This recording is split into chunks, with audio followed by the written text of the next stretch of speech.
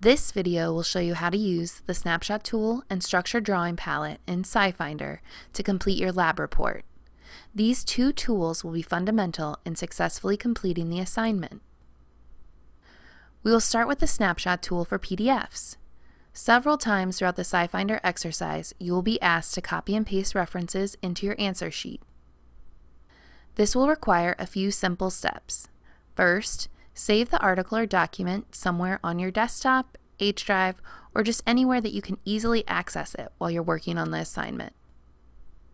Then open the document. Make sure that you're opening it in Adobe Acrobat and not your web browser. You cannot copy or paste the selection if you are using your web browser. Once you've got the PDF open in Adobe Acrobat, select the Edit button and pick Snapshot Tool with the icon of the camera next to it. Now you can drag the mouse and select or copy a portion of the text.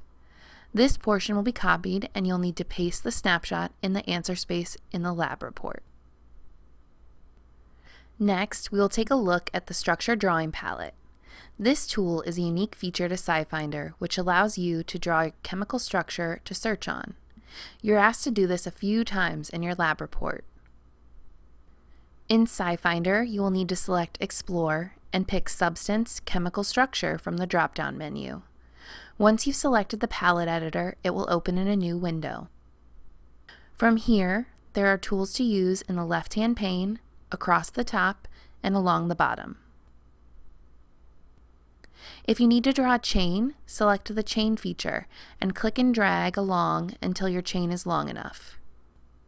To add a benzene ring, select the structure from the menu at the bottom of the editor. The shape will hover under your mouse, and once you are near the bond point, a red circle will appear to show the connection. Once you click, the benzene ring will be put in place. In order to make a double or triple bond, you will need to use different tools at the bottom of the palette. If you need a double bond, select the double bond and select with your mouse the bond to be doubled. It will turn red to indicate the change. Once you click, the bond will be doubled. This same process applies to triple bonds. To change atoms to oxygen or nitrogen, use the feature at the bottom of the palette to select the atom you want to change. If you need to add something that isn't readily available on the palette, like nitrogen dioxide, select nitrogen and customize your atom in the text box at the bottom. Keying in NO2 will place that in your structure.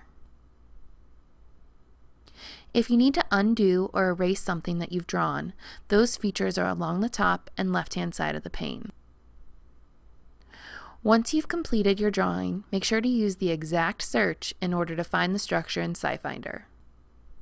If you have any questions about using either the structure drawing palette or the snapshot tool, feel free to ask during lab.